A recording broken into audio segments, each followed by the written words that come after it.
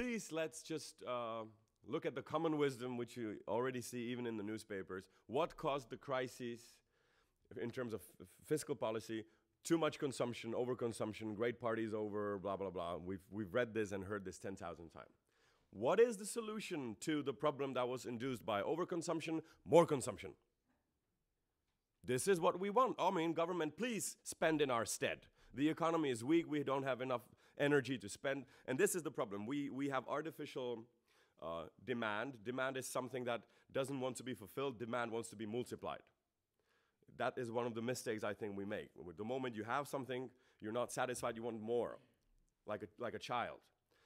Uh, and if we don't have enough money, so this is the dictum. The, this is, again, I think, the story that we have in our heads. It is consumption that is the engine of the economy. So we must consume. If you run out of money, go into debt, but consume. If you run out of debt possibility, then somebody else has to consume in your stead. Okay, the government. So we come to an ironic situation. The government is consuming so that the economy is functional. And here I think um, uh, another, so that's my second uh, remark. My third remark is I don't think this is a crisis of capitalism, by the way.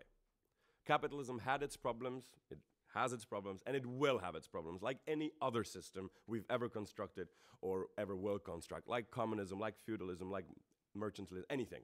Everything has glitches. What I think we are in the crisis of is growth capitalism. And there's a huge difference, and nobody's really called it, na named it. So here I propose a label. This is not capitalism in what we believe in, it is growth capitalism.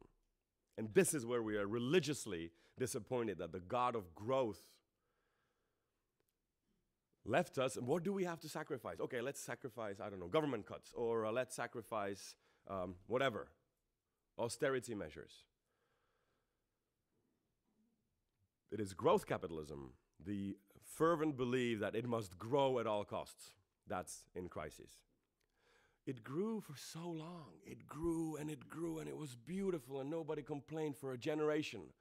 One year, minus 3%. How could that be? Gods must hate us. What do we do?